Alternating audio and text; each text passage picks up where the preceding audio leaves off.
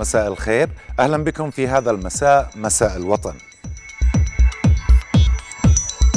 أعضاء مجلس الشورى ينتقدون استراتيجية نزاهه في محاربة الفساد ويصفونها بالتقليدية. الصحة تستعين بتكنولوجيا أمريكية لمكافحة كورونا.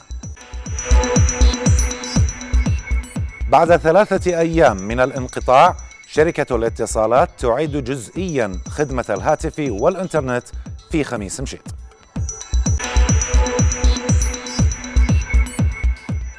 وتتابعون معنا أيضا في هذا المساء. بعد أن تبنى مساء الوطن قصتها إذاعة جدة تعين لولو العبد الله مذيعة في إذاعة جدة. تحت شعار باحة الكادي مصيف بلادي. مهرجان صيف الباحة ينطلق اليوم بأكثر من 500 فعالية ثقافية وترفيهية.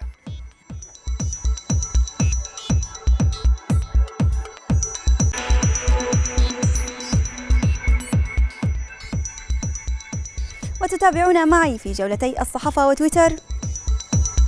في قصة صحافة خبر من صحيفة الحياة بعنوان مليون ريال للموظف السعودي في الخارج حال الوفاة والعجز الكلي. مغردو تويتر يتفاعلون مع هاشتاج بعنوان هروب الخادمات في شهر رمضان على خلفية هذه الظاهرة الموسمية.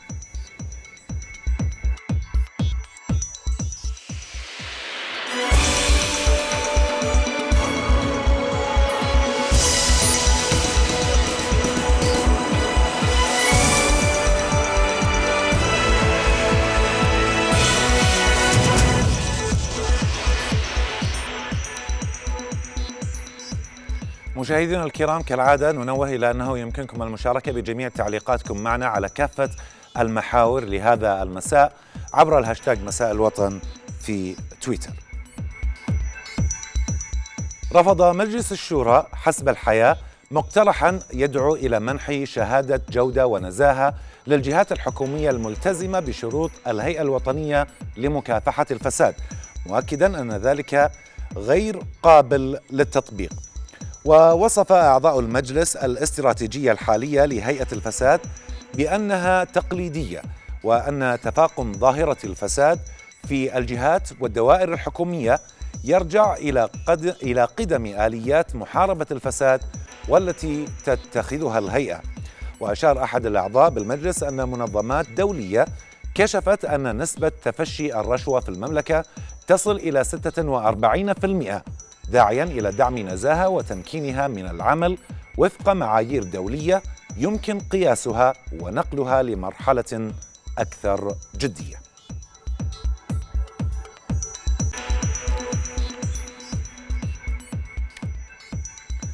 معنا في استوديو مساء الوطن لهذه الليلة للتعليق على كافة محاورنا الأستاذ محمد الرشيدي الكاتب الصحفي. مساء الخير أستاذ محمد. هلا أستاذ محمد مساء النور. أهلا وسهلا فيك.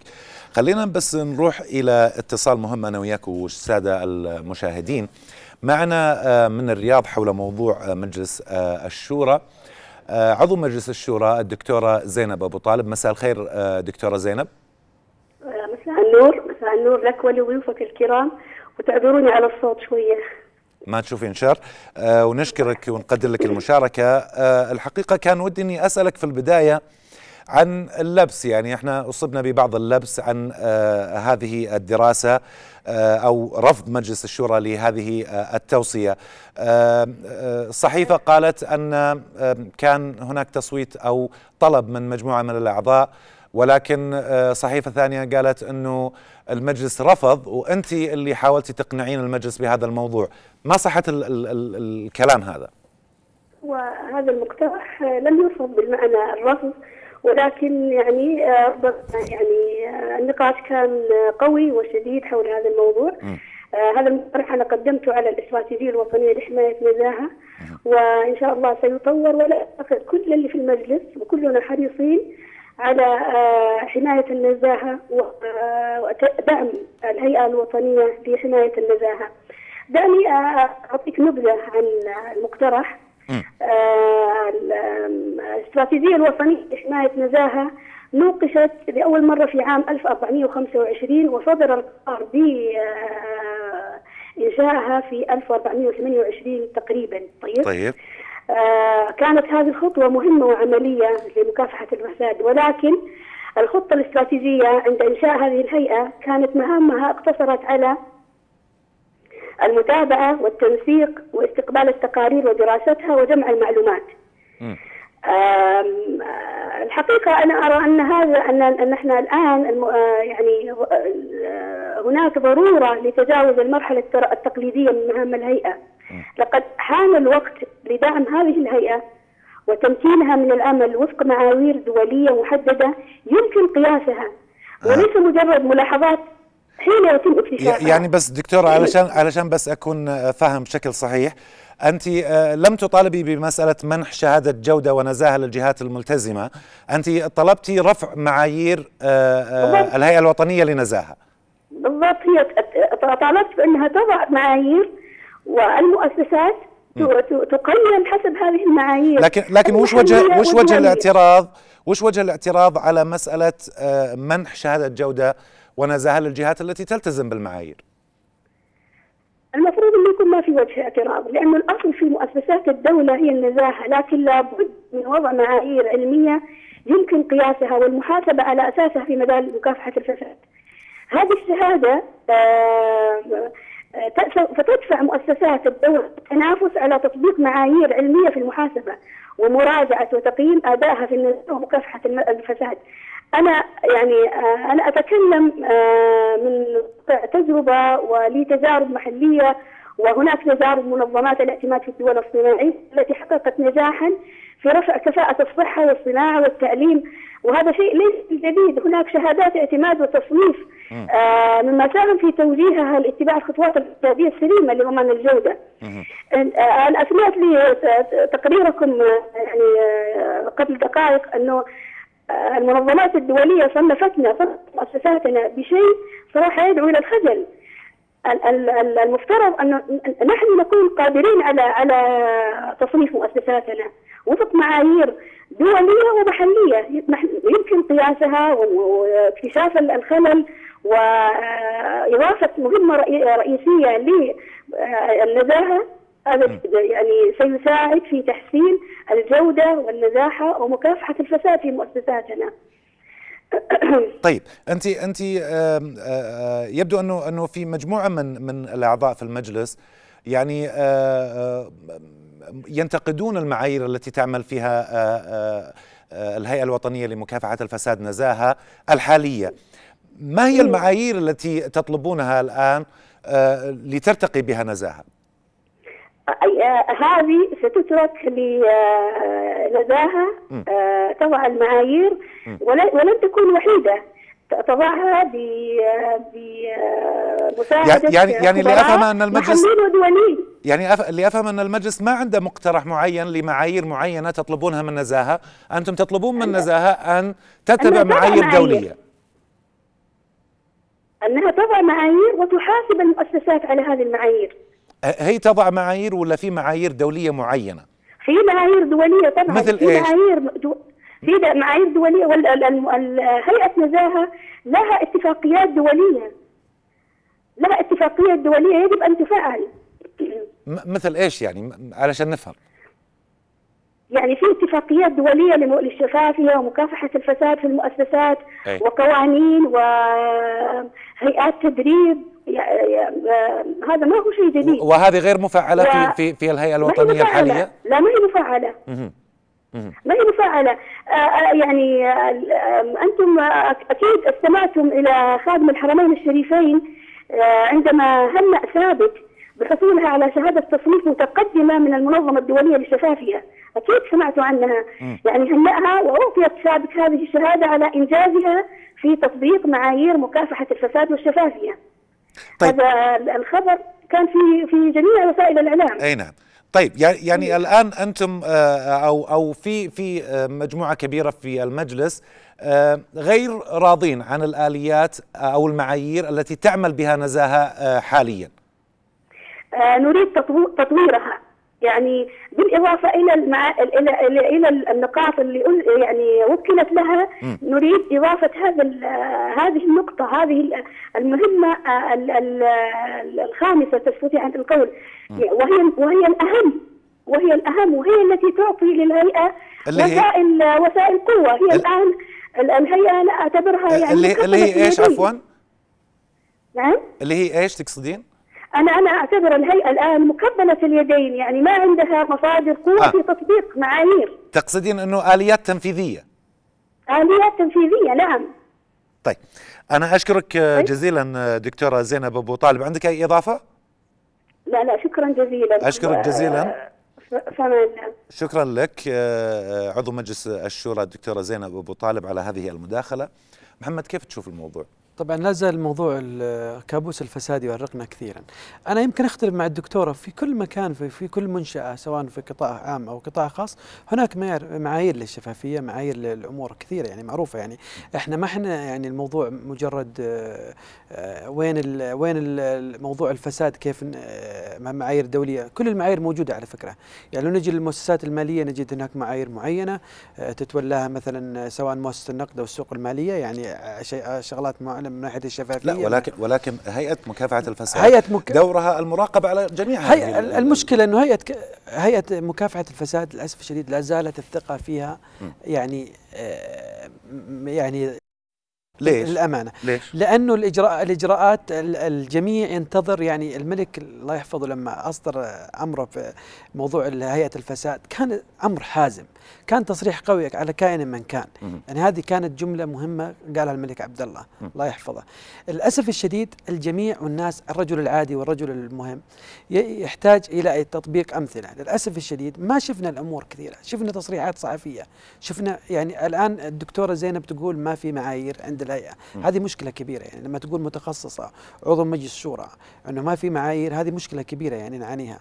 فأنا أتمنى رد من الهيئة على هذا الموضوع هل عندهم معايير أو مجرد إنهم يعملون بعشوائية؟ وهذه مشكلة كبيرة. يعني أن تقصد أنه هيئة مكافحة الفساد قائمة بدورها بمعاييرها الحالية ولا تحتاج إلى تطوير؟ لا ال- المعايير الحالية لا زالت ال- الدور اللي تقوم فيه هيئة الفساد لا زال دون المأمول. طيب أنت تقول أنها دون المأمول لكن تقول أنه يعني آه، دعوة آه، الدكتورة زينب غير صحيحة وغير لا لا ما أقول غير صحيحة. يعني. لا أنا أقول مو أنا أقول بالنسبة للموضوع للشركات والقطاعات موجود عندهم المعايير. لا الشركات الشركات أمر مختلف تماما في القطاع الخاص. والقطاع لا العام. إحنا نتكلم عن القطاع العام تحديدا. عن آه، آه، دور نزاهة في مكافحة الفساد في القطاع الحكومي. إذا كان ما هو موجود معايير مثل ما قالت الدكتورة فهذه مشكلة كبيرة. بس أنا أتوقع أن لازم يكون عندهم معايير يعني ما أتوقع يعني ما أتوقع الأمر يعني سائب لهالدرجة هذه بتكون مصيبة صراحة. طيب إحنا آه، وأنت ومشاهدينا الكرام أكيد ننتظر ما يعني يحدث في هذا الملف. وما سينتج عنه في مجلس الشورى وكيف آه، من الممكن أن ترد هيئة مكافحة ال- الفساد نزاهة عن آه، هذا الموضوع وان كان هناك معايير فعلا آه، آه، تعمل من خلالها الآن أو أنها فعلا بحاجة إلى تطوير آه، وخصوصا في مجال ال- التنفيذ يعني ال- ال- ال- الصلاحيات التنفيذية التي هي غير موجودة عند نزاهة يبدو إلى الآن. طيب بحسب تقارير صحفية بدأت الصحه باستيراد أجهزة ومعدات متطورة للتعقيم ولمكافحة العدوى في حربها ضد فيروس كورونا.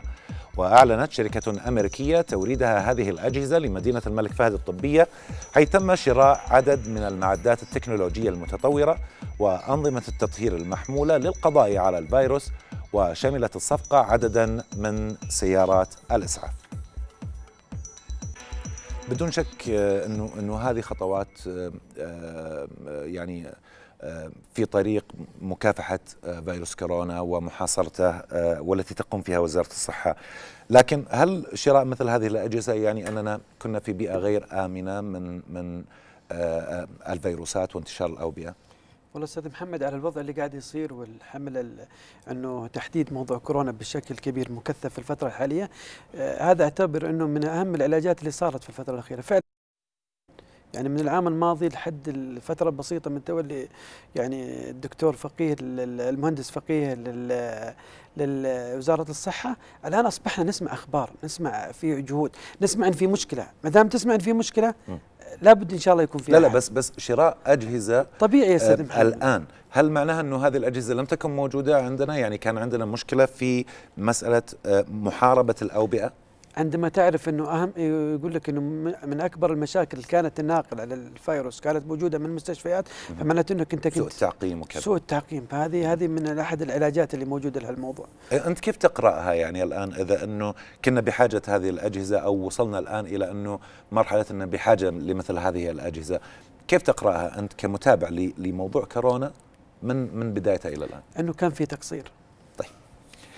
أنا آه، أنتقل إلى موضوع ثاني. فقد أصدرت وزارة التربية والتعليم قرارا بتعيين 3160 معلمة بديلة على المستوى الخامس وتعيين 264 معلمة بديلة على المستوى الرابع وكذلك تعيين 18300 وإدارية واحدة بديلة. حيث أكد المتحدث الرسمي للوزارة مبارك العصيمي أنه على المعينات التوجه إلى إدارات التربية والتعليم واستكمال مسوغات التعيين ومطابقة البيانات والمستندات قبل المباشرة والتأكد من نتيجة الفحص الطبي وسوف تتولى إدارة التربية في المناطق عقد دورات للمعلمات الجدد. وبين العصيمي أيضا أنه على المعينات سرعة المباشرة خلال مدة مدة 15 يوم من هذا القرار. للحديث عن هذا الموضوع معي المتحدث باسم وزارة التربية والتعليم الأستاذ مبارك العصيمي مساء الخير أستاذ مبارك. مساء النور محمد حياك الله. أبو يزيد هل هل معنى آه، هذا القرار أن مشكلة البديلات انتهت؟ إن شاء الله انتهت. إن شاء الله انتهت. بهذا العدد يعني انتهت إن شاء الله يعني. يعني في, في عدد متبقي أقصد؟ والله شوف يتبقى يتبقى من يكون لديه مثلا آه، أي ملحوظات في إجراءات توظيفه أو لديه ملاحظة آه، تتأخر أوراقه حتى تستكمل أو يطلب منه راجع الوزارة لاكمال يعني مسوغ ما فيلحق بالبقية. لكن في الحكم العام أنهن انتهينا بإذن الله وامورهن إن شاء الله تيسرت. هذه هذه بشارة آه، كبيرة. طيب أنا بس أبي علشان الناس تفهم وش الموضوع يعني إيش قصة البديلات؟ البديلات يعني عملناهن خريجات عملنا في فترة من الفترات معلمات بديلات يعني تعرف آه، إنه إنه تجد ظروف معينة عند معلمة آه، تطلب إجازة. فتمنح هذه الإجازة ويبحث عن بديله لها من الخريجات اللائي لا يعملن في مجال التعليم. ثم تشكر هذا المكان. هذا كان يعمل به فترة من الفترات وعندما صدرت الأوامر الملكية الكريمة آه، عام يعني حقيقة في في توجيهات عام 22 أو كذا نعم. كانت آه، يعني نصت على على من عمل من هؤلاء أنهن يلحقنا أو يوظفنا في المجال التعليم. فعملت الوزارة من تلك الفترة على توظيفهن. آه، في الخطوة الأولى وظف من كان على رأس العمل من كان موجودا بعقد في حينه عندما صدر الأمر السامي الكريم. وانهي وضعهن وبقي منهم مجموعات حقيقة ما كنا على رأس العمل في وقت صدور الأمر السامي. وأسمينا بالمعلمات البديلات المستثنيات لأنه في وقت قيل ان انهن استثنينا من القرار وإن يجب أن يلحقنا به فالحقنا بال, بال يعني يعني المعلمات هم البديلات. هم هم البديلات نعم. هم اللائي المعلمات اللائي شغلنا محل المعلمات الأساسيات هم المعلمات البديلات الآن. طيب. البديلات الآن وظفنا في طريقتين. إي. كل كل كل هؤلاء خريجات آه، معلمات. لكنهن آه، وظفنا الآن بمسار الإداري ومسار التعليمي نتيجة لرغباتهن. فالعدد الذي ذكرت أنت 3160 و 264 هؤلاء معلمات على وظائف تعليمية على المستوى الخامس والرابع. والرقم الآخر اللي أشرت له 18301 و 301 هؤلاء صاروا إداريات. إداريات. عملنا طيب. اداريات على المرتبة السادسة. يعني الآن هو يعني جميع مستحقاتهم رواتبهم عقودهم الآن أصبحت جاهزة يعني. هم الآن صدر قرار توظيفهم في حكم الماضي بقي لهم خطابات المباشرة بس ينهينا المسوغات حقيقة من من ادارات التربية والتعليم التي وجهنا لها. لأن سبق ان اعلنت الوزارة حقيقة. الوزارة قبل أن يصدر القرار أعلنت. إدارات التعليم التي وجهنا لها. فالآن ما عليهن إلا أن يتجهن إلى إدارة التعليم. لكن لكن أبو يزيد أبي أتأكد بس إنه خلاص يعني ما عاد في مشكلة البديلات هذه. انتهت. إن شاء الله ما عاد في إن شاء الله. إن شاء الله ما عاد في انتهت. يعني إذا بقي هناك من لديهن ملاحظات أي. فحتما ان الجهة المختصة في وزارة التربية والتعليم أي. تعمل على انهاء واستكماله والحاقا بزميلاتهن. طيب. أنا آه، يعني ودي أشكرك آه، أستاذ مبارك آه، كثيرا على على هذه الإيضاحات. ونتمنى فعلا أنه هذه المشكلة ومثلها من المشاكل أن تنتهي فعلا خصوصا أو انسجاما مع التطوير الكبير الذي تشهده وستشهده وزارة التربية والتعليم. شكرا جزيلا لك مبارك العصيمي. العفو أستاذ محمد. هلا بك. اعتذرت شركة الاتصالات السعودية عبر رسالة نصية عن الانقطاع المفاجئ لشبكة الاتصال الهاتفي والإنترنت الذي استمر لمدة ثلاثة أيام. ولا تزال بعض المواقع تعاني من ضعف في الشبكة ما تسبب في خسائر فادحة لكثير من العملاء. وقالت شركة الاتصالات السعودية في رسالتها لعملائها إنها تعتذر عن هذا الانقطاع المفاجئ في تغطيتها بسبب الحريق في مقسم خميس مشيط والذي ألحق أضرارا بشبكتي الجوال والهاتف بالرغم من التلف الذي لحق بالمعدات إلا أن الشركة تمكنت من إعادة الخدمة. أستاذ محمد اعتذار كافي من شركة بحجم شركة الاتصالات ونعرف أنها هي أول مشغل الخدمات في المملكة وكانت يعني آه، الأسعار يعني كبيرة الناس عندها يعني آه، تاريخ مع هذه الشركة بالتعامل هل اعتذار كافي؟ والمسألة لأنه الموضوع موضوع حريق يعني م. أكبر من موضوع يعني يعني ظاهرة فوق فوق الأمر العادي. فأعتقد أنه لكن ما يعني الشركة مأمنة أماكنها مو مأمنة أجهزتها؟ لا الآن في يعني أنت لو تتابع الأخبار اللي والبيانات اللي تمت تم يعني حل الكثير من المشاكل العملاء في في وقت قياسي.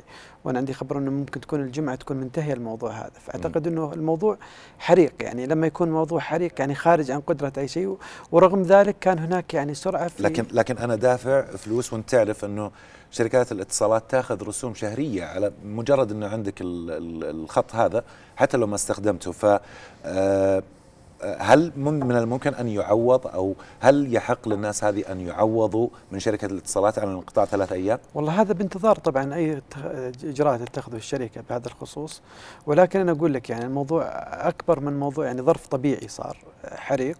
وتم يعني على الأقل تجاوز الموضوع في فترة قياسية يعني لا بس بتعرف يعني في آه، بعض الشركات بعض المحال بعض المؤسسات بعض الجهات يستخدمون أو يعتمدون على هذه الوسائل الإنترنت وغيرها في آه، العمل. آه، كثير منهم يقولون إنه تكبدنا خسائر يعني إحنا لنا ثلاث أربع أيام متعطلين.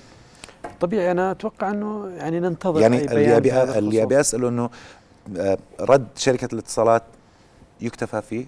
طبيعي تشوف أه بس انت لو تلاحظ انه في بيانات متعددة لو تابعت فترة ذا هناك متابعة معينة للحدث نفسه. فإحنا ما ما نقدر تصليح تصليح المشكلة شأنهم لكن أنا كمستخدم ألا يحق لي التعويض منهم؟ والله حسب إجراءاتهم أنا ما عندي يعني أنت ما ودك إنك تعوض لو انه لو إنه فقدت الاتصال ثلاث أيام؟ والله حسب إذا كان شيء أمر خارج عن إرادتي. أنا يعني ما ما أقدر يعني أعلق على هالموضوع صراحة. طيب إحنا الحقيقة اولا نشكرهم على تجاوبهم مع الناس و بس عن الخطوات اللي تمت يعني يعني لهم. الخطوات اللي تمت أنا أتوقع انها يعني خطوات في فترات قياسية. كثير محمد شكرا لك يعني لكن وإحنا نشكرهم. لكن الحقيقة في ناس تكبدوا خسائر والمفروض يعني من شركة كبيرة أن يعني نوعا من العرفان والامتنان يعني أن يكون هناك مكافأة لعملائهم آه، كما يحصل يعني في جميع شركات الخدمات في العالم. نتابع بعد قليل في مساء الوطن. وزارة الشؤون البلدية والقروية توقع عقودا جديدة للنظافة بمكة المكرمة والمشاعر المقدسة بتكلفة أو بتكلفة تزيد عن مليارين ونصف المليار ريال.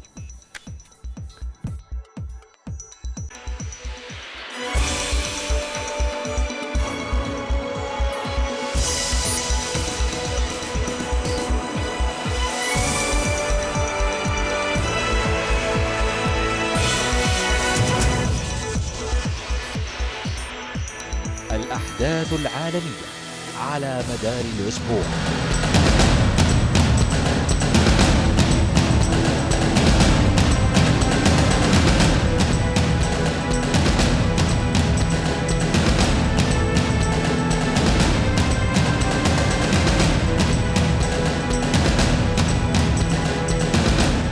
نحصدها باليوم الثامن. في الأوقات التالية.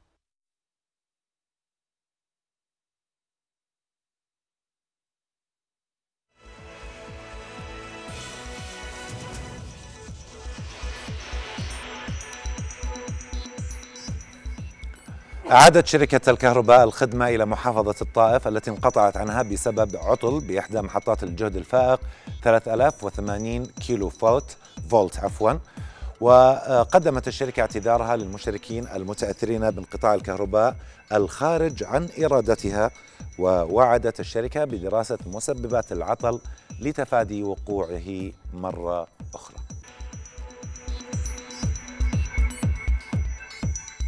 وقع وزير الشؤون البلدية والقروية الأمير الدكتور منصور بن متعب بن عبد العزيز عقود مشاريع جديدة للنظافة بمكة المكرمة والمشاعر المقدسة والتي تغطي جميع أحياء العاصمة المقدسة ومشاعر منى ومزدلفة ومزدلفة وعرفات بتكلفة إجمالية تزيد عن المليارين ونصف المليار ريال. دعت وزارة الإسكان المطورين العقاريين ممن لديهم الاستعداد لتنفيذ مشاريع سكنية على أرض مشروع الرياض عمائر متعددة الأدوار لتقديم عروضهم. وقالت الوزارة أن هذه الدعوة تأتي ضمن برنامج الشراكة مع القطاع الخاص مشيرة إلى أنه سيتم تقييم وتأهيل المتقدمين من النواحي التسويقية والتنفيذية والتمويلية أيضا وغيرها من المعايير ذات العلاقة. حصل آه، مطار الأمير نايف بن عبد العزيز بالقصيم على المركز الأول بعدد الرحلات الدولية والركاب الذين تم نقلهم على مستوى المطارات الداخلية في المملكة خلال العام الماضي 2013 حيث بلغت عدد الرحلات الدولية 4117 رحلة لشركات الطيران التي يستقبلها المطار فيما بلغ عدد الركاب الذين تم نقلهم قرابة 445 و 926 راكباً.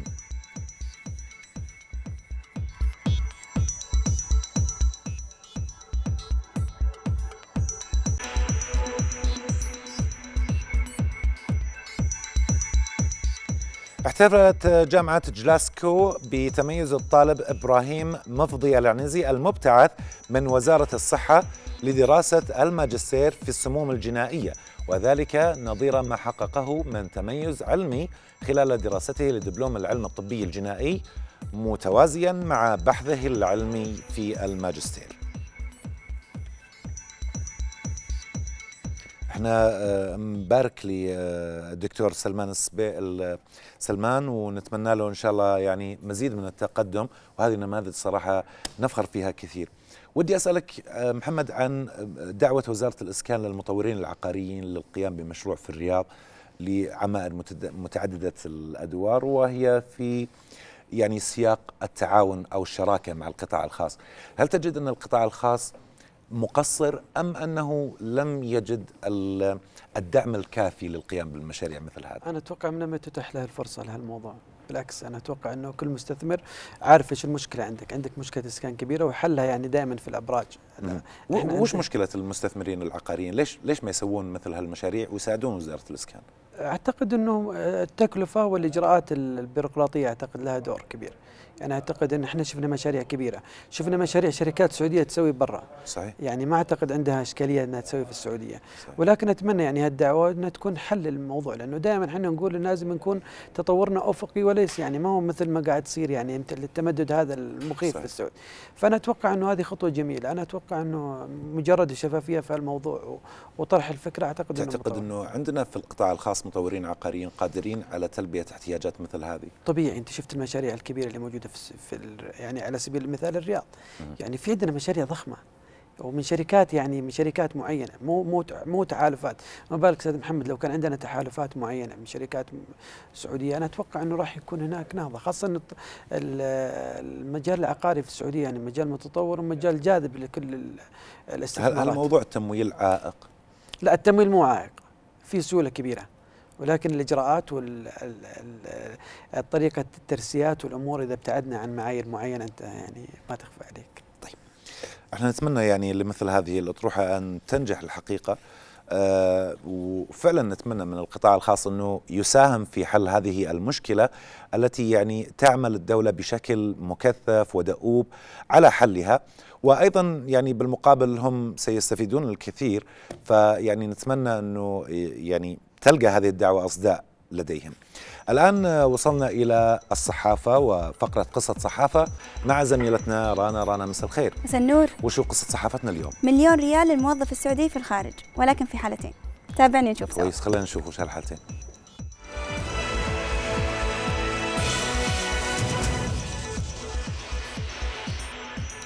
أهلا بكم مشاهدينا. نتناول في قصتنا الصحفية لهذا المساء خبر من صحيفة الحياة بعنوان مليون ريال للموظف السعودي في الخارج حال الوفاة والعجز الكلي. انفردت صحيفة الحياة بخبر أن جهات عليا وجهت بصرف مليون ريال للسعوديين العاملين في الخارج عند وفاتهم جراء أعمال إرهابية أو حرب أو أعمال تستهدف الإساءة للمملكة. وأوضحت أن جهات عليا وجهت وزارات عدة بأن يعامل السعودي موظفا أو متعاقدا إذا انتدب أو كلف بالعمل في الخارج حال وفاته أو إصابته بالعجز وفق التوجيهات السابقة. وأشارت إلى أن أي فرد من أفراد أسرته إذا كان مرافقا له أثناء عمله في الخارج يصرف له مليون ريال إذا توفي أو أصيب بعجز كلي نسبته 70% فما فوق. وشددت الجهات العلي العليا على أن تصرف له نسبة من المبلغ مساوية لنسبة العجز إذا انخفضت نسبة العجز عن النسبة المذكورة. وعلى أن تثبت الوفاة وتحدد نسبة العجز بناء على تقرير طبي تعتمده الممثلية الصحية السعودية في الدولة التي وقعت فيها الوفاة أو الإصابة وعلى الجهة التي يتبعها الموظف أو المتعاقد أن تتحمل المبالغ المحددة وتطبق الضوابط على أسرة الموظف أو المتعاقد السعودي. وأفاد بأنه يمنح كل من والد الموظف أو المتعاقد المتوفى أو المصاب بعجز كلي ووالدته وكل زوجة له راتبا شهريا يبلغ ثلاثة ألاف ريال. ويمنح الموظف السعودي من يشغل وظيفة بالمرتبة الخامسة عشر إذا توفي أو أصيب بعجز كلي راتب أعلى درجة في المرتبة التي يشغلها. ويرقى الموظف السعودي الذي يشغل وظيفة بالمرتبة الرابعة عشر وما دونها إذا توفي أو أصيب بعجز كلي إلى المرتبة التي تلي مرتبته مباشرة. ويذكر أن السعودية شهدت في الأعوام الأخيرة عمليات استهداف ممثليها ودبلوماسيها في الخارج ولا سيما العاملين في وزارة الخارجية السعودية إذ اختطف نائب القنصل السعودي في اليمن عبد الله الخالدي ولا يزال أسيرا بينما قتل الدبلوماسي خلف العلي في بنغلاديش بأيدي لصوص. إلى هنا تنتهي قصصنا الصحفية. عودة للزميل محمد وبقية فقراتنا. يعطيك العافية رانا بالح... يعني فعلا يستحقون ويمكن هذه آه، قليلة عليهم. صحيح. أشكرك جزيلا. محمد كيف شفت مثل هذا طبعا نقول إن شاء الله ما نتمنى ان يعني هالمبلغ إن شاء الله يحتاجه إخواننا اللي موجودين برا. إن شاء الله عشان حفاظا على سلامتهم إن شاء الله. ولكن أعتقد إنها خطوة يعني جميلة وخطوة رائعة إنه أنت تقدير لقيمة المواطن إنه أنت روحك غالية ومكانتك غالية. وزي ما نشوف يعني حتى الآن في حتى على المستوى الداخلي لما نشوف الأحداث اللي تصير لبعض رجال الأمن في السعودية صحيح. والاهتمام الكبير مثلا من سمو الأمير محمد بن نايف وزير الداخلية صحيح. وزيارتهم وصار المبالغ هذه تعطي قيمة للإنسان قيمة محمد يقف على احتياجاتهم نعم لكن لكن إحنا يعني الحقيقة ودنا أو نتمنى خصوصا إن إحنا عندنا يعني آه، آه، موظفين للدولة في دول كثير فيها صراعات وفيها نعم. يعني ذكرنا بعض الأمثلة نسأل الله أن يفك أسر من آه، هو مأسور وأن يرحم يعني من غدر هناك. ودنا أن فعلا حتى اللي يروح هناك يعني قبل حتى الوفاة أنه ياخذ مليون على روحته بس وخدمة دولته هناك. طبيعي يعني إحنا نشكرهم كثير يعني اللي ضحى بوقته ضحى بأسرته وكان لهم مخاطر. وكثير من النماذج ترى فيها كثير من صحيح. الأسماء يعني في يعني ضحايا لعمليات ارهابيه ضحايا لعمليات مقصوده ضد المملكة. فأنا أتوقع زي ما تفضلت أستاذ محمد بالعكس هم يشكرون. وأعتقد إنه يعني اللفتة هذه لفتة جميلة إنك أنت بعد بنفس الوقت القيمة المادية ما هي المسألة القيمة المادية ولكن المسألة هي تقديرية أكثر من المادية طبعا. صحيح. إحنا يعني آه، نتمنى آه، السلامة لهم جميعا وأن لا يرينا الله سبحانه وتعالى مكروه بأحد منهم. وإن شاء الله يجيهم آه، مليون قبل إن شاء الله. قبلها بعد بمجرد الله. الخدمة في الخارج يستاهلون ويستحقون ونتمنى لهم التوفيق. اللهم آمين. لولو عبد الله الزميلة لولو العبد الله فتاة سعودية كفيفة كانت إرادتها وعزيمتها هي النور لطريقها لتحقيق أحلامها. برنامج مساء الوطن طرح قضيتها في حلقة سابقة وكان حلمها أن تكون مذيعة. فتحقق لها هذا الحلم حيث تم تعيينها مذيعة في إذاعة جدة.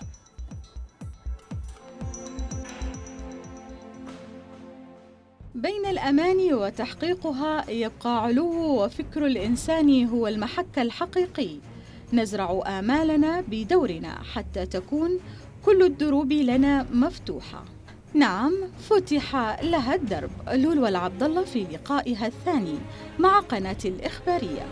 وكانت الإخبارية قد استمعت إلى معاناتها في لقاء سابق.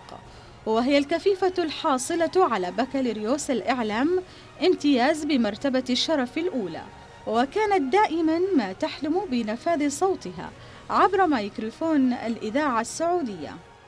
ها هي الآن على منبر إذاعة جدة.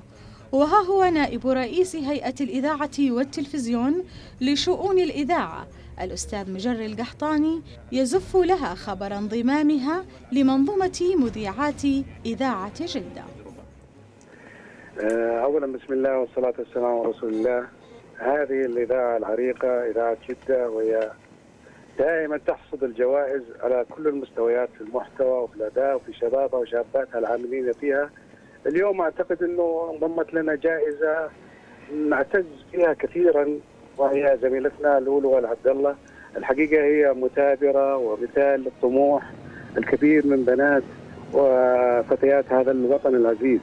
نفتخر إنه يكون عندنا من أمثالها ونعتز بهذه التجربة. في إنها تكون أول فتاة سعودية تقدم من خلال آه، الإذاعة ونرحب بطموحها. آه، لولو آه، أنا كنت سعيد بفرحة مساعد رئيس الهيئة لشؤون الإذاعة زميلنا مجري قحطاني باحتضانها دفع هذه التجربة بقوة إلى الأمام وقف معها ساندها كان يسأل دائما كان يستفسر متى ساعة الصفر متى الانطلاقة متى البدء؟ قلنا له نبلغك إن شاء الله. بالفعل قال أرجوكم خلوني أنا يعني أول شخص أهنئها أطل عليها على الهواء لأنه أنا سعيد فيها. يعني بنتنا لولوة هي فرحة للوطن هي تجسيد لتوجيهات القيادة لتوجيهات خادم الحرمين الشريفين إنه آه، ذوي الاحتياجات الخاصة لهم الحظوة لهم الصدارة لهم المكانة الخاصة في قلوبنا ومن يستحق منهم. أن يظهر في مجال ويبرز فليأخذ مكانه تماما وليتم دمجهم في وسط المجتمع وبين الناس بالشكل الصحيح. فالحمد لله يعني لولو الان هي لا تشعر إلا أنها واحد مننا مثلنا. يمكن هي تتميز عننا مش نتميز عنها. بجد هي تتميز عننا. ترى ترى انت بس شوفي نفسك علينا بعد. كلمة أقولها احتضان أستاذ سلامة لي من يوم ما دخلت مكتبه. يعني حسسني بالوالد اللي يطبطب على بنته. يعني هذا يمكن أداني آه، خلى خلاني أتعدى خطوات كثيرة. يعني يمكن أي واحد بي عنده بيخش على مدير إذاعة جدة يكون عنده الرهبة بس بمجرد دخولي لي واحتضانه لي وطبطبته لي كأني بنته بالضبط يعني هذا الشيء كسر حواجز كثيرة خلاني أتقدم لقدام بشكل كبير. خلاني أقول أنا لازم أكون عند حسن ظنه على أساس أنه بكرة زي الأب اللي يفتخر ببنته. دموع لولو تنهال فرحا وكأنها تسرد لنا قصة كفاح واقعها الذي عاشته بانسيابية ومرونة لتستخلص لنفسها النجاح. قصة قضت بها على التعب بالنشاط. وطول الطريق بالصبر والملل بالهمة والظلام بالنور.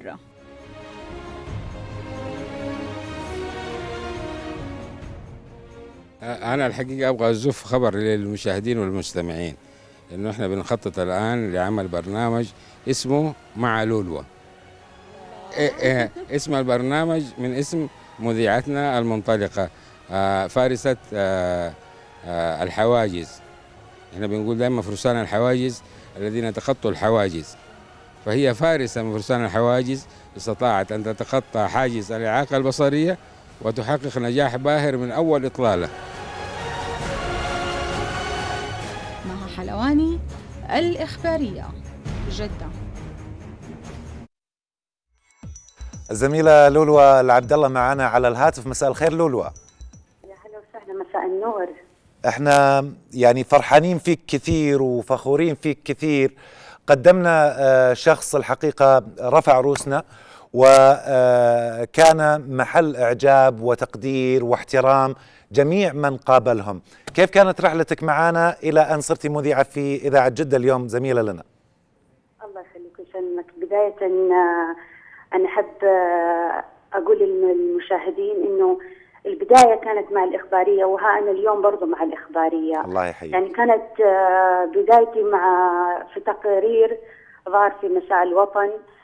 آه، كان الحمد لله لقى صدى كبير لقى إقبال كبير الحمد لله. يعني آه، فريق العمل ما قصر. سعى وراء التقرير إلى أنه يوصل للمسؤولين إلين ما وصل للأستاذ الفاضل مجر القحطاني. وجه يعني تحية بالضبط اللي أوجه له تحية. يعني هالإنسان بصراحة من يوم ما تولى آه آه يعني لولو العبد الله وحتى هذه اللحظة هو متابعني خطوة بخطوة. يعني آه قد إيش أنا بقول لك إنه اهتم بالموضوع يمكن بشكل مو طبيعي. فأنا أشكر له هالاهتمام أشكر له الخطوه اللي المبادرة اللي منه. إلى جانب آه، وصلت للإذاعة عن طريق آه، أستاذ مجر القحطاني وصلني بالأستاذ سلام الزيد مدير عام إذاعة جدة وهو بدوره احتوى اللولو العبد الله. آه، سعى كثير على تدريباتي على إني أكون أفضل من اللي أنا عليه إني أنا آخذ على المايك. والحمد لله ما أطولت في الموضوع. هذه يوم هذه مو غريبة عليهم وأنت تستحقين الحقيقة. لكن كيف كيف شفتي تجربة البث الإذاعي على الهواء؟ نعلم أن يعني الهواء له رهبة خصوصا في المرة الأولى، كيف كانت تجربتك؟ بصراحة رهبة المايك كانت يمكن في اللحظات خلاص اللي خلاص اللي إحنا متجهين على الاستوديو بدأت دقات القلب تزيد. بس آه، أمانة من آه، قبل ما أدخل على الاستوديو قابلني الأستاذ سلام الزيد. كان دائما يحاول يخرجني من الوضع القلق فيقول لي انت قادرة يديني رسائل إيجابية. الحمد لله كانت الرهبة في أول ربع ساعة كمان المسؤولين كلهم كانوا موجودين معي في الاستديو. نعم، يعني من بداية البرنامج حتى آخر لحظة في البرنامج هم كانوا متواجدين معايا مساندة لي. فبالعكس هذا الثاني الحمد لله الثقة. كمان وإحنا كلنا كنا نتابع ذيك الحلقة الحقيقة باهتمام كبير وبفرحة كبيرة. كيف آه، انت تشوفين تجربتك وإيش ممكن تقولين ل آه، إخواننا وأصدقائنا ممن يعانون من بعض الإعاقات إن كانوا في البصر أو غيرها؟ إيش ممكن تقولين لهم في طريق الأمل والطموح والمحاولة والمثابرة؟ أول حاجة إنه أحب أقول إنه آه، لازم يكون إيمانهم بالله كبير لأنه اللي يكون إيمانه قوي عنده إرادة إذا اجتمعت هذه الحاجتين أكيد هو بيوصل. كل إنسان يعرف إيش نقاط الضعف اللي عنده وإيش نقاط قوته. فإذا اشتغل على نقاط القوة اللي فيها وكان عنده إصرار وما ينكسر من أول محاولة أكيد إنه يجي اليوم اللي حيوصل فيه. وأكيد اللي بيطلع في مساء الوطن ما يخسر. أنا أتمنى إنه بصراحة بجد يعني أشكركم أشكر لكم هالمبادرة وهالبرنامج اللي بجد يؤدي الرسالة الإعلامية حقيقة. وأنا أكبر مثال قدامكم. نتمنى آه، لك التوفيق وإحنا فخورين بما نقوم فيه وفخورين فيك جدا الحقيقة. وأنا شخصيا امل إنك في يوم من الأيام تكونين في مكاني هذا وتقدمين مساء الوطن آه، بدال عني. الله يخليك لا أنا خليني للإذاعة. إن شاء الله نشوفك قريب بحول رب العالمين. يعطيك العافية وشكرا لك زميلتنا لولو العبد الله مذيعة في آه، إذاعة جدة. آه الآن يعني الوقت داهمنا نبي نروح إلى آه تويتر في فقرة هاشتاج لاستعراض آراء المغردين في آه موضوع مع رانا. رانا وشو هاشتاجنا لليوم؟ ظاهرة موسمية. هروب الخادمات قبل رمضان. الخادمات هذول اللي صاروا وشغلنا وشاغلنا. تفضلي.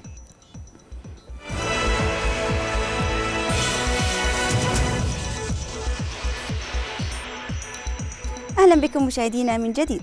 تفاعل مغردو تويتر اليوم مع هاشتاج بعنوان هروب الخادمات قبل رمضان. على خلفية إعلان الجوازات أن أكثر من ستة ألاف بلاغ هروب ضد عاملات منزليات خلال شهر قبل رمضان.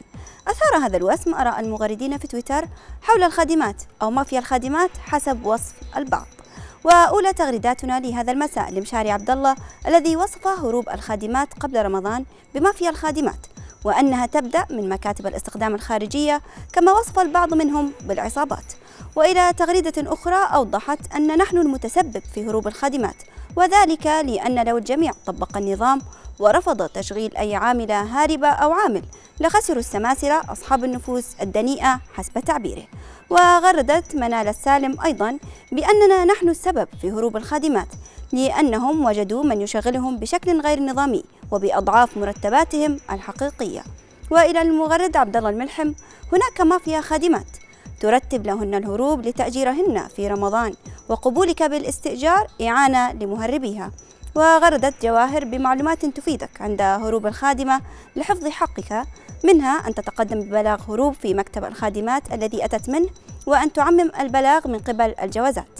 ختاما غردت سارة بأن السعودية سجلت 31700 حالة هروب لخادمات خلال عام واحد حسب إحصائيات لوزارة العمل والمواطنين يتكبدون جراء هروب الخادمات 300 مليون سنويا حسب تغريدتها. إلى هنا تنتهي جولتنا في تويتر. الآن عودة للزميل محمد. الله يعطيك العافية رانا شكرا جزيلا لك.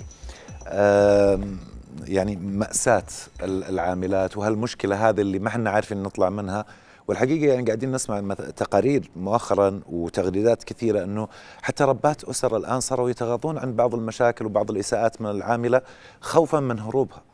جيت على ألوتر أنا أنا كثير تضررت من الهروب شلون عطنا تجربتك؟ أنا مرتين هروب عندي مرتين؟ نعم ليش؟ واحدة قعدت عندي فترة حتى استخدام يعني أخذت تمرينها كان عند عشان والد الله يرحمه يمكن كلفتني 18000 في وقتها.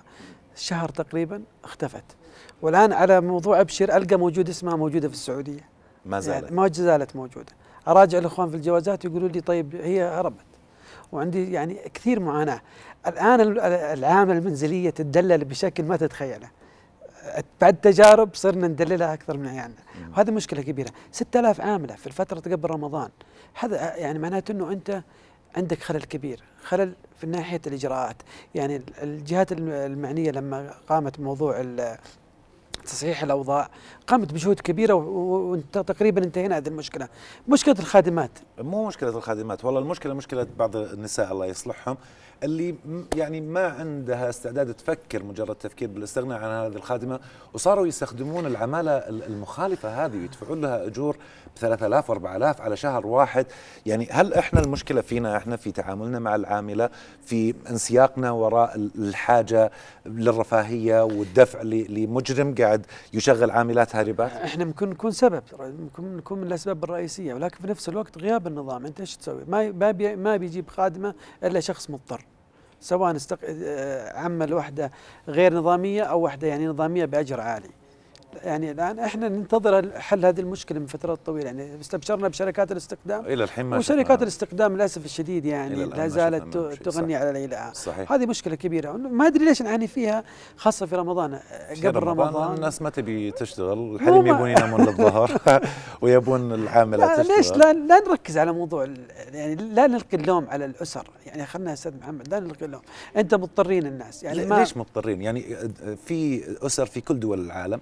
وأسر من ثلاث واربع وخمس أشخاص وما يستخدمون عامله ليش إحنا بس بالذات؟ ليه أنا عجبتني بعض التغريدات كانوا يجيبون مثلا آه، زوجة ولي العهد البريطاني كانت شايلة طفلة. صحيح. فيقولون شوفي ترى هذه يعني زوجة ولي العهد. صحيح ولا معها عامل عاد شو تسوي؟ أنت خلاص أنت الآن صرت آه، يعني إحنا المصيبة الأكبر مو الاعتماد على الشغالات كاعتماد. المشكلة من المصايب اللي تشوفها الآن يعني سوء معاملة العاملات المنزليات للأطفال للبيت.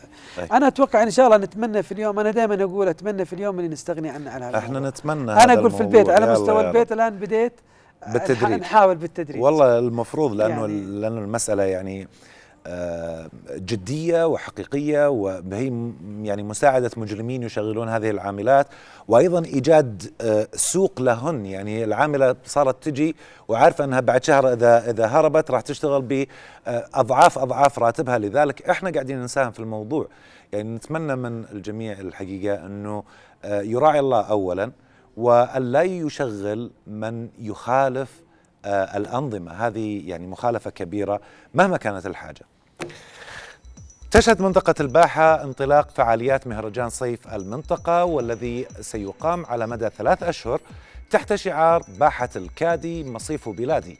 ويتضمن المهرجان أكثر من 500 فعالية يتخللها الكثير من البرامج الثقافية والدينية والترفيهية مع إعطاء مساحة أوسع للطفل والأسرة. محافظات منطقة الباحة وخاصة المواقع السياحية لاستقبال الزوار والمصطافين لهذا العام حيث يتوقع أن تشهد المنطقة إقبالا كبيرا من قبل المصطافين من مختلف دول الخليج ومناطق المملكة الأخرى. حيث اكتست شوارع مدينة الباحة ومحافظاتها والمراكز التابعة لها بحلتها الجديدة. كما سيرعى صاحب السمو الملكي الأمير مشاري بن سعود بن عبد العزيز أمير منطقة الباحة وبحضور صاحب السمو الملكي الأمير سلطان بن سلمان بن عبد العزيز رئيس الهيئة العامة للسياحة والآثار حفل إطلاق مهرجان صيف الباحة تحت شعار باحة الكادي مصيف بلادي. وقد أوضح وكيل أمارة منطقة الباحة رئيس اللجنة الإشرافية العليا المنظمة لمهرجان الصيف الدكتور حامد بن مالح الشمري أن المهرجان سيشهد العديد من العروض الفلكلورية. مؤكدا أن برنامج صيف الباحة سيشتمل على ما يزيد عن 500 فعالية تمتد لثلاثة أشهر. يتخللها مهرجان وبرامج ثقافية ودينية وترفيهية. مع إعطاء مساحة أوسع للطفل والأسرة. وستقام الفعاليات بمدينة الباحة والغابات والمنتزهات ومحافظة المندق وبلجرشي والقرى وبني حسن وهي المواقع التي يستهدفها المصطافين مع وجود مناشط تقام في عدد من المسارح والقاعات التي شرعت أبوابها لهذه المناسبة. إضافة إلى مهرجانات للتسوق وأخرى للترفيه. للإخبارية سعيد المزهر الباحث. إحنا وصلنا إلى ختام هذه الحلقة بهذا التقرير. آه نتمنى آه أن نكون وفقنا إلى بعض ما يرتقي إلى آه مشاهداتكم. أشكرك جزيلا محمد الرشيدي على تواجدك الكريم معنا اليوم. شكرا محمد. الشكر موصول لكم مشاهدينا على تفضلكم بمتابعة هذه الحلقة. آمل منكم أن تتفضلوا بمتابعة حساباتنا على مواقع التواصل الاجتماعية ولا تنسوا أن تزودونا دائما بمشاركاتكم وآرائكم واقتراحاتكم وأيضا تقاريركم وإبداعاتكم والتي دائما نعدكم بأن تجد طريقها إلى هذه الشاشة. وتذكروا دائما أن مساء الوطن يستمر بكم ومعكم. في أمان الله.